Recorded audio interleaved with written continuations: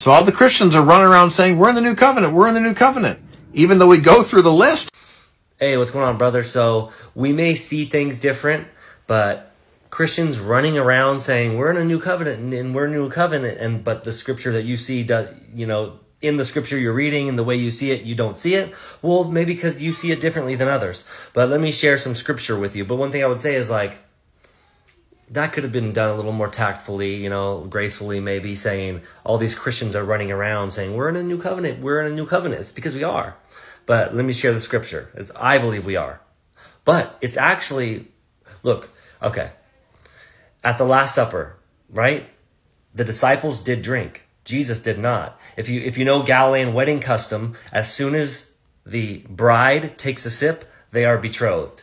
And in being betrothed, that is the same as being married. When you take the sip of the cup of joy at the gates of the city, you are married. When the bride takes a sip. And also the dowry and all that stuff which plays into it. But let's let's check out scripture. Are we in a new covenant? Yes. But remember, Jesus didn't drink, right? But the disciples did. The bride. Hebrews 9.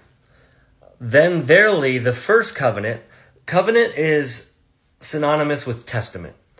Then verily the first covenant had also ordinances of divine service and a worldly sanctuary. Now we know the new sanctuary. For there was a tabernacle made, the first wherein was the candlestick, which is Jesus Christ, and the table, Jesus Christ, and the showbread, Jesus Christ, which is called the sanctuary. And after the second veil, the tabernacle, which is called the holiest of all which had the golden censer and the ark of the covenant overlaid round about it with gold, wherein was the golden pot and had manna, had Aaron's rod. Okay, so Aaron, we are now under the order of Melchizedek, no longer under Aaron. So there has been a change in priesthood.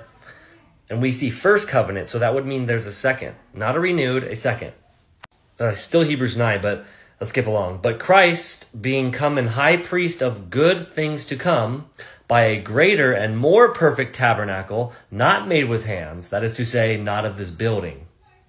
Neither by the blood of goats and calves, but by his own blood he entered in once into the holy of into the holy place, having obtained eternal redemption for us. This already happened. For if the blood of bulls and goats and the ashes of an heifer sprinkling the unclean sanctifieth to the purifying of the flesh, how much more shall the blood of Christ, who through the eternal Spirit offered himself without spot, unblemished, Pontius Pilate says, I find no fault in this man. He rode in on the donkey, was tested for four days. He came in the 4,000th year. Um, they, he was being tested for four days and found unblemished. He rode in on Nissan 10. They were to take the lamb on Nissan 10 and hold it for four days and at twilight sacrifice it. And that's when Jesus Christ was on the cross. Gave up, gave up his whole, gave up the ghost, they say. Um, without spot to God, purge your conscience from dead works to serve the living God. And for this cause, he is the med- capitalize that. He is the mediator of the New Testament. This is covenant. Now we can go to the original Greek and see the words that are being used, and it's synonymous testament and covenant.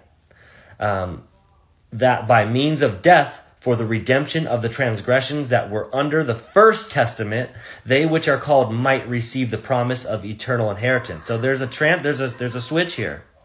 Real quick before I forget, you did say something about teaching. You said why are people still teaching, which is very interesting. I've been speaking a lot on this lately about not being called teachers right here, but a spiritual teacher, like a rabbi. But be ye, but not be ye called rabbi. For one is your master, even Christ, and all ye are brethren. And call no man your father upon the earth, for one is your father, which is in heaven. Neither be ye called masters. These are like teachers. For one is your master, even Christ.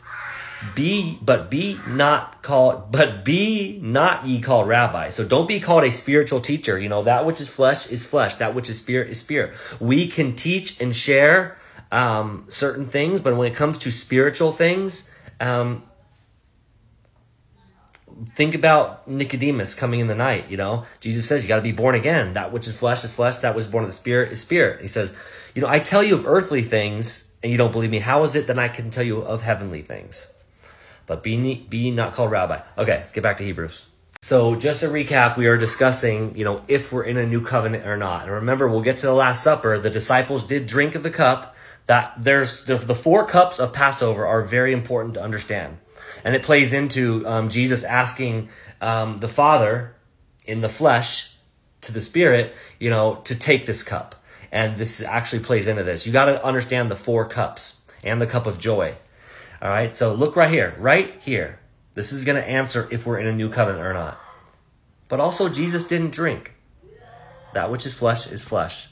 That which is spirit is spirit. The physical kingdom, the kingdom of glory, the kingdom of heaven, um, the millennial reign kingdom, the physical one has been postponed, right? And the, the kingdom of God is from within. And the kingdom of God and kingdom of heaven are used interchangeably a couple times in the Bible and the Bible is written in this way to confound the wise and boastful and prudent, and is delivered unto babes. You have to have childlike faith. That's why Jesus said, "Suffer not the little children to come." And they came and said, "You, unless you be like one of these little children, you cannot see the kingdom of God." For where a testament is, there must also of necessity be the death of the testator. This is like a will. This is the. Did this happen? Yes, it did happen on the cross when he said, "It is finished." Right. For a testament is of force after men are dead. Otherwise, it is no strength at all while the testator liveth. Jesus Christ rose from the dead. And he is our high priest in the order of Melchizedek. Hebrews is a great one to understand the covenant. And then the Last Supper. Um, whereupon neither the first testament was dedicated without blood, meaning this second testament was dedicated with blood. He's clearly telling us here we are in a new covenant. But also remember, Jesus didn't drink. But in Galilean custom, when you when the bride takes the sip, they are betrothed. And being betrothed is like being engaged, is the exact same thing as being married. Right now, it's like, oh, it's your fiance, you're not married yet, so it's different, you can call it off. It wasn't like that back then. When she took that sip, they were betrothed, they were considered married, and then the married, the Galilean wedding was a seven day feast where they had to wear special garments provided by the bridegroom's father. So everyone was on equal level and the doors were shut. No one goes in or out, which is also stated in, which happens at Passover. Um, the first Passover in Exodus 12, many things, but it's very interesting, right? How a Galilean wedding is seven days and they're already betrothed prior. There's a lot goes into that, but anyways, for, whereupon neither was the first testament was dedicated without blood. Now, pause and read this.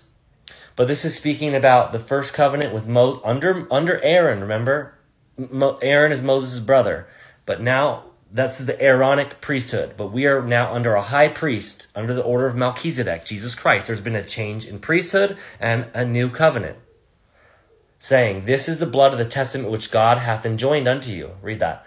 Moreover, he sprinkled with blood both the tabernacle all the vessels of the ministry. And almost all things are by the law purged with blood, and without shedding of blood there is no remission. It was therefore necessary that the patterns of things in the heavens should be purified with these, but the heavenly things themselves with better sacrifices than these, Jesus Christ. For Christ is not entered into the Holy of Holies made with hands, which are the figures of the true, but into heaven itself now to appear in the presence of God for us, our mediator. Saying right here that he shouldn't go into the Holy of Holy every year, but just only once. For then must he have suffered, often suffered since the foundations of the world. We're in a new covenant. Just read Hebrews. Once. All right, the Last Supper. And he took the cup and gave thanks and gave it to them, saying, Drink ye all of it.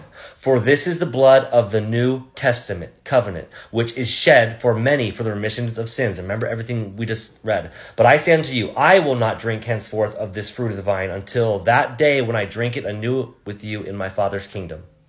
And so that's how I'll answer it. I do believe we're in a new covenant, and um, it is very interesting. And we all have to pray on this for ourselves that Jesus did not drink of it, even though we are betrothed why did he say he will not drink of this fruit of vine?